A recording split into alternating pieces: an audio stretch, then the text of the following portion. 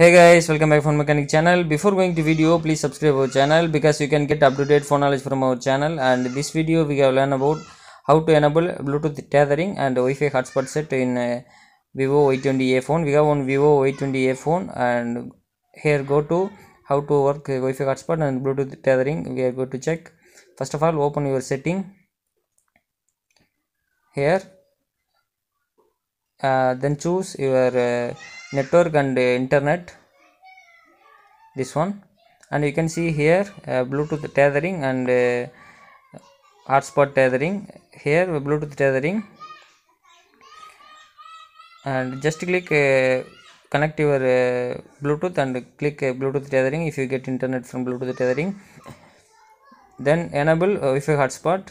You can see here wi-fi hotspot password. You can edit it then here wi-fi share uh, qr code. You can share your friends. You can share with your friend.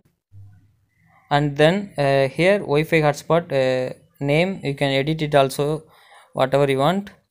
And you can uh, set automatically disconnect with no de- device connected. This option only. That's all friends. Thanks for watching. Please like share